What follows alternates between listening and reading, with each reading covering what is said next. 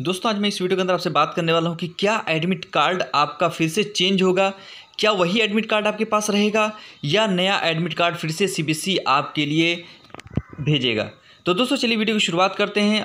और दोस्तों, शुरुआत से पहले आपसे रिक्वेस्ट है, अगर आपने अगर चैनल को सब्सक्राइब नहीं किया है तो चैनल को ज़रूर से सब्सक्राइब कर लें ताकि हर सी की अपडेट आप तक पहुँचती रहे और सही सही न्यूज़ आपको पहुँचती रहे।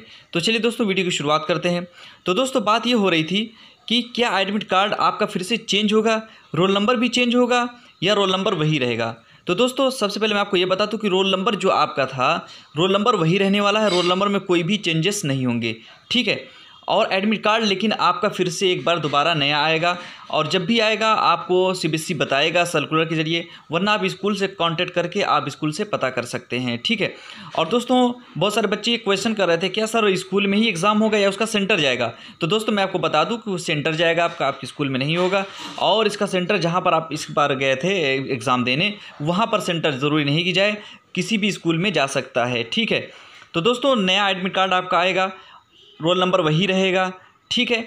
और देखिए, आता कब है? हालाँकि फॉर्म की डेट अभी तक नहीं आई है, फॉर्म देखिए कब आ रहा है। फॉर्म के बाद तब जाकर के दोस्तों आपका एडमिट कार्ड आएगा और डेट शीट आएगी, ठीक है? डेट शीट आएगी, फिर एडमिट कार्ड आएगा। तो इस तरह से दोस्तों आपका जो है एडमिट कार्ड बिल्कुल नया फिर से एक बार दोबारा आने वाला है, ठीक है? और आप तैयारी करते रहें। जिस भी सब्जेक्ट में आपका कंपार्ट आया है, आप खूब अच्छे से तैयारी करें। ज़बरदस्त तैयारी करें, पीछे मुड़कर बिल्कुल भी ना देखें और जो आपको वीक एरिया दिखाई दे रहा है आपको सब्जेक्ट में, उस पर अच्छे से आप मेहनत करें, ठीक है?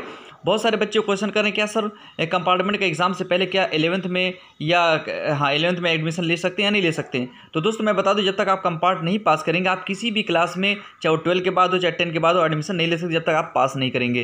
पहले आपको कंपार्ट पास करना उसके बाद आप आराम से उसी साल एडमिशन ले सकते हैं, ठीक है? तो एडमिट कार्ड दोस्तों, बिल्कुल नया आने वाला है। अब देखिए, कब आता है, ठीक है? डेट शीट पहले आती है एडमिट कार्ड पहले आता है। इसके बारे में मैं वीडियो बनाऊँगा। तो दोस्तों, जो भी कोई आपके पास क्वेश्चन हो, आप ज़रूर से हमें कमेंट कर सकते हैं। आपके हर कमेंट का जवाब मैं देने की कोशिश करूँगा। और दोस्तों, हालाँकि सी की अभी कोई भी कंपार्टमेंट का फॉर्म से रिलेटेड कोई भी अभी अपडेट नहीं है। जो भी अपडेट आएगी दोस्तों, मैं ज़रूर से बताऊँगा। तो दोस्तों, अगर आपको हमारी वीडियो पसंद आई हो तो हमारे इस वीडियो को लाइक करें शेयर करें और हमारे चैनल को सब्सक्राइब भी कर लें।